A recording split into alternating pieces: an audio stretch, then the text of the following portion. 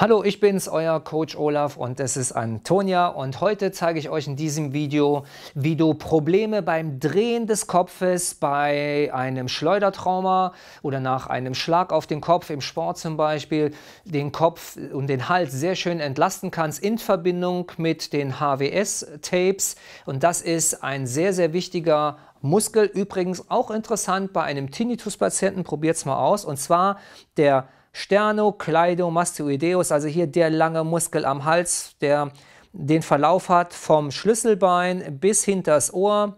Man kann ihn, schau noch ein bisschen höher, jawohl, man kann ihn sehen, man kann ihn sehr gut sehen, man kann ihn aber auch sehr gut tasten und der wird auf jeden Fall mit einem 2,5 cm schmalen Tape abgeklebt, also bloß nicht das Tape nehmen und mit dem Tape mit 5 cm an den Hals.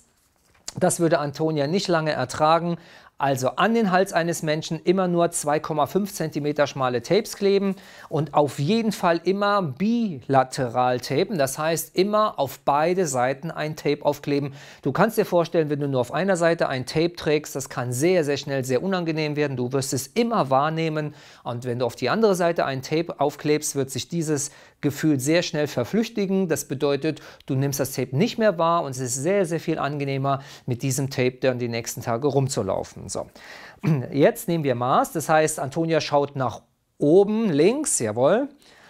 Dreh dich noch ein kleines bisschen. Ja, und zwar nehme ich Maß von hinterm Ohr, vom Mastoid, also von dem Knochen hinterm Ohr, den ihr tasten könnt, bis zum Schlüsselbein.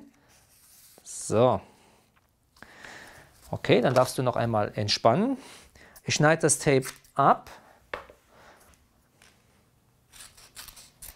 Halbiere den Zügel Meine Empfehlung ist, gerade für den Sternokleido, der unten etwas auseinanderläuft, schneidet auch das Tape unten etwas auseinander. So, die 10 cm unten ungefähr, die letzten 10 cm schneidet ihr das Tape etwas auseinander und nun alle Enden abrunden. Den anderen Zügel genauso. Jetzt zur Demonstration für unseren Film und für euch lassen wir es auf einer Seite, Und denkt dran, ihr könnt ihn wunderbar kombinieren mit der kompletten HWS-Versorgung. So, jetzt bitte noch einmal nach oben schauen, Antonia, dann nach oben links, jawohl. Jetzt ist der Muskel sichtbar, das Tape wird so aufgeklebt, dass die Einschnitte des Tapes unten liegen, also nicht die Einschnitte des Tapes oben liegen. Nun klebt ihr das Tape auf. Ich empfehle euch, das Papier einzureißen oberhalb des Einschnitts, hier wieder nach 2-3 cm das Papier ebenfalls einreißen, am letzten, am kompakten Ende, dann das Papier in der Mitte entfernen. Dann sieht das Ganze so aus. Platziere es, ohne dass du die Haare einklebst, hinter dem Ohr, genau auf dem Muskel selbst. Antupfen, immer erst antupfen, nicht gleich reiben, sonst hast du schnell Falten im Tape.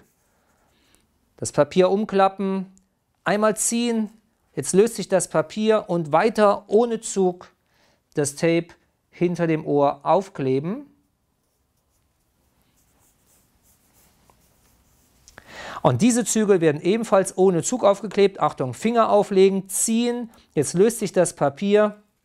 Du teilst das Papier und klebst erst einen Zügel auf, auch hier wieder einen kleinen Anfasser lassen, wenn ihr wollt, und den Zügel jetzt leicht versetzt nach außen kleben, am Ende wieder etwas ziehen, so kannst du auch das letzte Stückchen Papier entfernen und hier unten ebenfalls Papier entfernen, bis auf 2, 1, 2 cm, da hast du einen kleinen Anfasser, das Tape verteilt nach unten laufen lassen, wieder ziehen, das Ende ohne Zug aufkleben, und dann wollen wir uns mal anschauen, ob es auch eine Wirkung zeigt. Antonia kommt zurück mit dem Kopf, noch etwas den Ansatz und Ursprung annähern und schon siehst du hier wieder, wie das Tape die Haut in Wellen nach oben anhebt.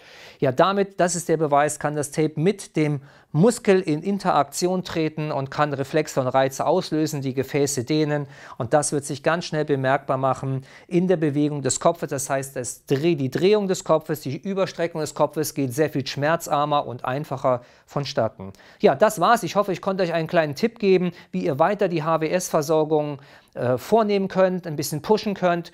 Ähm, ich freue mich auf ein Wiedersehen in den nächsten Videos. Das war's erstmal. Ich sage Tschüss, euer Coach Olaf und Antonia.